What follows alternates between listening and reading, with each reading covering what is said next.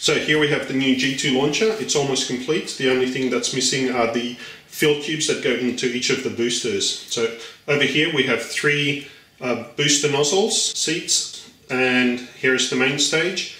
Now each of the nozzle seats can uh, move radially in and out. Uh, they're free to do that.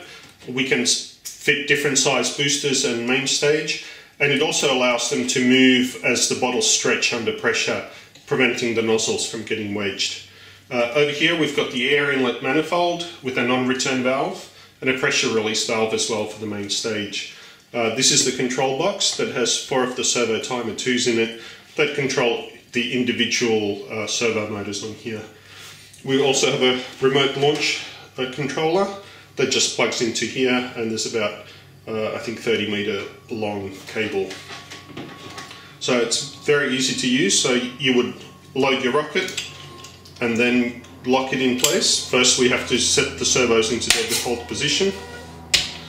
So now we can put the rocket on, lock it all in place. And you would at this stage pressurize it, turn the system on and when you're ready to launch, you would just arm it and count down, three, two, one, and it launches the rocket. These were our first low pressure tests at 100 psi.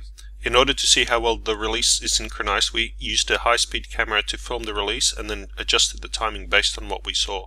Launching in three, two, one, go!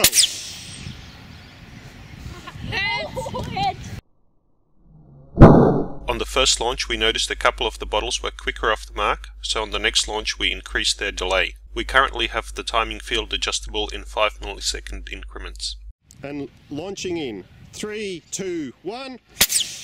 Because we used air only in these light bottles, the acceleration is very high at around 200 g, which makes any timing differences more obvious. The final G2 rocket will have an acceleration closer to 30 g. And launching in 3, 2, 1, go!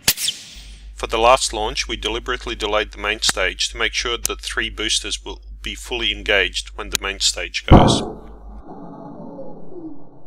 Next will come finer adjustments and also 200 psi hold down and release tests.